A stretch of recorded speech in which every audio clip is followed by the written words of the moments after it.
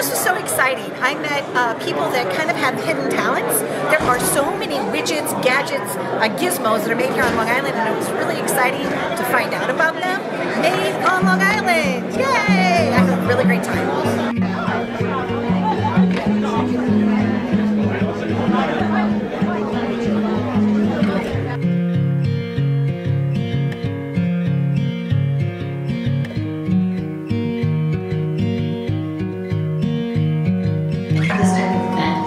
So Lisa, take it away.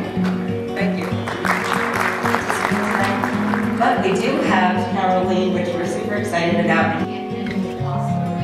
focus on moving companies out and graduating in two ways. do a lot of work with high school kids to bring them in. We have uh, makers and fabricators academies, summer academies. eventually going to be retiring and being replaced by these kids, we owe it to ourselves and to them to go into the schools for things like, I said, teaching, where they would, professionals from the community to tell them a little bit about who you are, what you do, and how you got there.